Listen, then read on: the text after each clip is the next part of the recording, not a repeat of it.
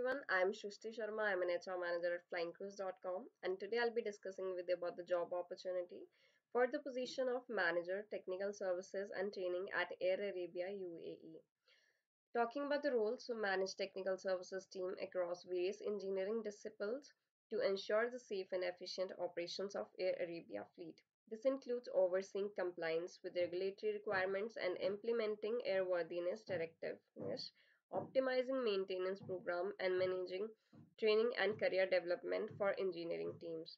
Talking about the key responsibilities, so lead teams in aircraft system, avionics, propulsion structure, predictive and reliability maintenance, ensure compliance with regulatory standards and OEM regulations, oversee airworthiness directives, service bulletins, modification, collaborate with maintenance planning while maintaining safety standards, prepare for audits lease with OEMs, promote technological tools for efficiency and ensure compliance.